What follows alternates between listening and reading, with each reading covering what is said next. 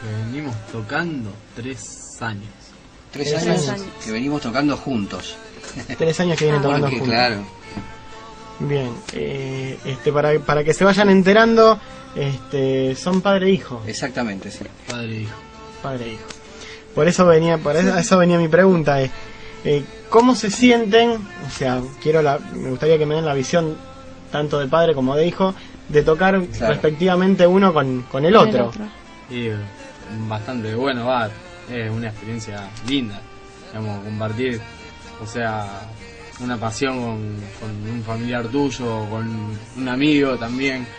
Te puede llegar a pasar de que está bueno compartir yo una pasión. Y bueno, compartir la pasión de la música, está bueno.